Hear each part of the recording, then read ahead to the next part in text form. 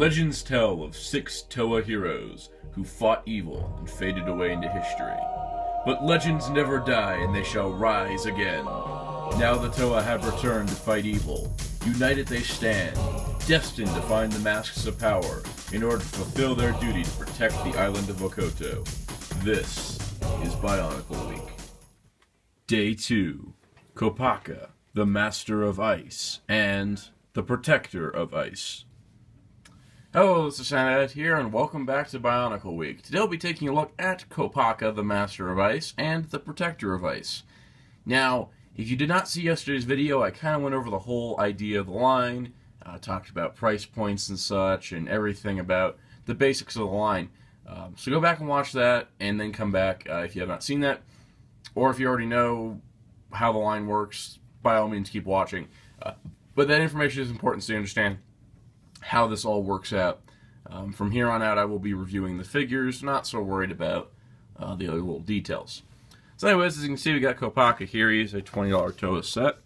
Um, nice artwork on the front here, showing that he has a silver skull spider, so different colors, nice. Uh, you can see the region of ice back here. Um, he is 97 pieces, that's pretty cool. And on the back, you got just general information about stuff I'll show you. So yeah, he's in the same size box as uh, Tahu.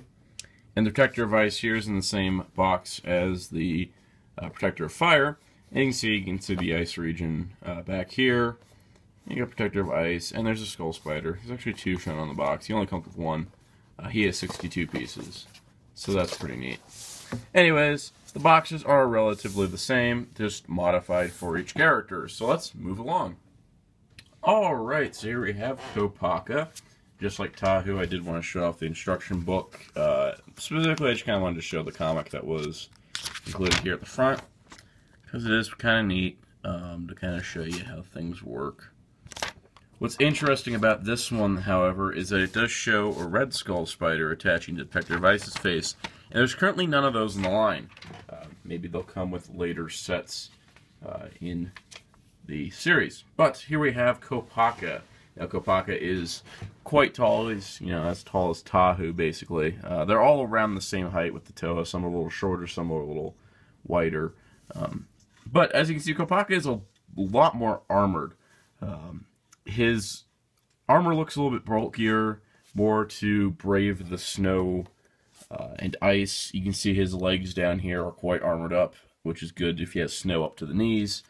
Um, it I like how the Toa have these adaptive armors of sorts um, because you can kind of see he is he is prepared to brave the ice. You can see his nice gold armor up here. Uh, his mask looks so close to the original uh, Kanohi mask of Kopaka that I almost say it's the same thing. It's slightly modified, but it is very, very close. Um, I do like that. I also like how he does have a hole here where his eye is, and the light does shine through. Um, just not as well as I think Tahu does. Got a nice printed chest decal. Looks really nice. Uh, now he does have stickers here. I don't like stickers because they peel over time. But, uh, I don't know, I guess I couldn't uh, print that there. But overall, the figure looks quite nice. I love the use of clear plastic on his arms. Gives him that nice ice look. Uh, and same with his lower legs there. And, of course, his articulation is fantastic, being a new a Neo Bionicle set. So he's got the ball jointed head, the shoulders, the elbows, the wrists, hips, knees, and ankles. So he's got a wide variety of poses, and he does have a gear system. Uh, each one does. As you can see back here, he turn this gear, and this allows for his arm to raise or lower. Just kind of swings his one arm. So much like the original Kopaka, only one arm swings. Um, but, you know, you can kind of see the gear system here with the double gear allows for things to be held in place better. Also, these uh, shoulder pieces are articulate as well, which is pretty neat. Now, in terms of weapons, he has a couple. First of all, we have his spear, um, which you can see here uses a Rahkshi staff piece, which is pretty neat. Uh, it attaches in two pieces here and here, like that. So now you got this nice spear for him to hold, skewering some skull spiders, and that's where the arm action comes in. And then on the other side here, we have this big old shield. uses the same uh, blade-like pieces that uh, Tahu's swords and surfboard used. And we can give that to him here. And now he's got his shield and his spear, and he's good to go. So, overall, Kopaka looks really sweet. Um, I like the idea of him having this big shield, you know, help him brave the wintry weather of the ice region. Um, I, I like the adaptive armor look. I definitely like the look of him a lot better than Tahu. I feel like the armor's uh, better placed. Uh, the legs, the armor around the legs look a lot better than having chest plates down there. And overall, the figure just looks quite awesome. Uh, the, the colors mesh really well. Now, of course, he does have an alternate configuration for his weapons. Um, so let's just remove his shield here. We'll leave this little peg inside. And we might as well swap onto his golden mask here. You can see it's nice and gold. So we'll power him up. And we'll take the these pieces here. These will split into skis. So one for each leg. Like this. Split apart. We'll just put this piece back here for now. Another good place for it. So it does peg into his feet here. And now he's got a pair of wicked skis that look like blades and probably can slice up skull spiders as he's skiing down the mountain with his staff out front, ready to ready to win. So pretty neat. I like the uh, the ski configuration, much like Kopaka Nuva had. Um, and overall, he looks really cool. Uh, it's just this peg has nowhere to go, really. That's kind of the only problem. But overall, Kopaka is really, really nice. Alright, so here we have the Protector of Ice. And much like the Protector of Fire, this guy has no elbows. Um, let's just get the articulation out of the way. It's the same as the Protector of Fire, so you got the neck, shoulders, the wrist, elbows, the hips, the knees, and the ankles. Um, but other than that, this guy is built differently. He doesn't have the three-part chest armor. Um, he looks like he's more snow-equipped. I mean, his feet look pretty nice. Um, other than that, he's a lot bulkier in terms of armor design, uh, which is a pretty neat aesthetic to have. And like I said before, the masks on the protectors are all the same. Just this one's all winter themed. It's molded in clear blue plastic, painted over white. So, yeah, it's pretty neat. Um, the problem with the protectors is there's not really much to say about their base bodies um, because they are smaller sets.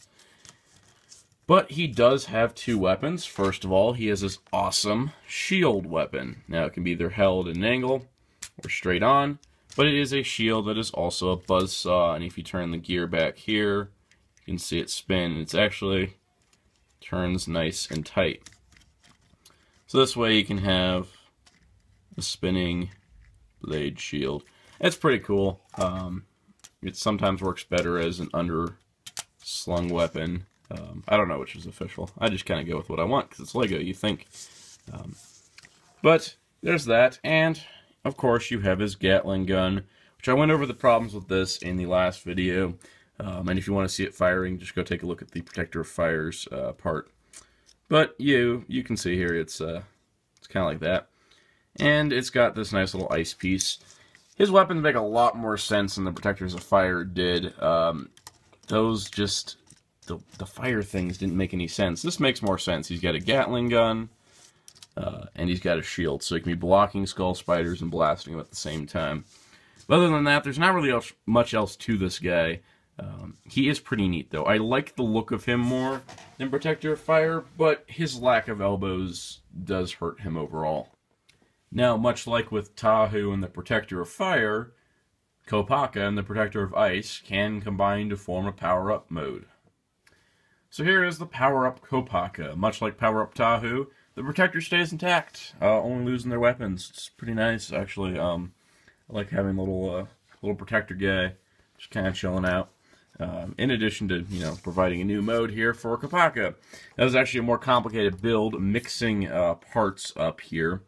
The uh, staff got to completely dismantled and reassembled into this nice staff bow saw thing, which is pretty neat. And he also gets the Gatling gun, which is pretty cool. Um, it gives Kopaka a couple extra uh, weapons here, but it does leave behind some pieces like the shield is still intact.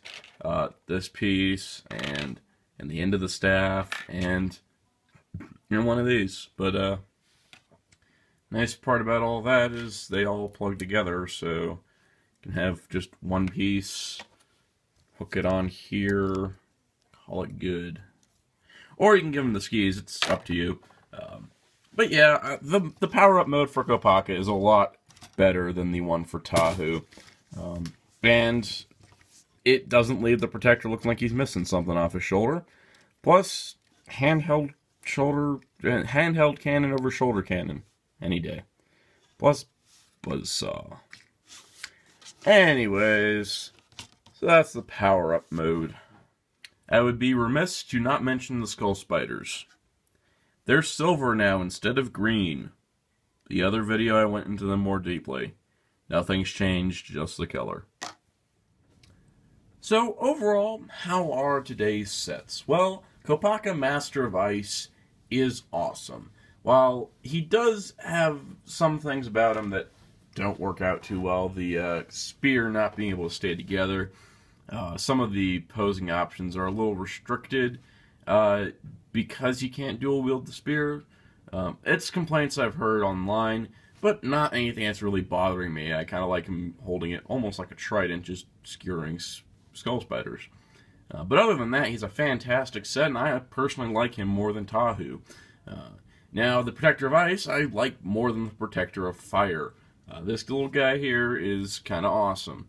Uh, mostly because of his weapon loadout. His design's kind of standard, but he's got, uh, you know, an underslung Gatling gun and a saw blade shield. That's pretty sweet. Plus, it kind of fits with he's got a shield, he's got a shield. And they look like they're prepared to go through an icy tundra, which is where they would be living. Um, plus, Silver Skull Spiders. Those are neat. So overall, I'd highly recommend Kopaka and the Protector of Ice. I'd say that he's the best protector so far. But he's not my favorite. We will have to stay tuned, as tomorrow we'll be taking a look at the Master of Earth and the Protector of Earth. Till next time, be sure to check out HeroTaku.com for all your LEGO news and more. And this is Soundout saying, goodbye.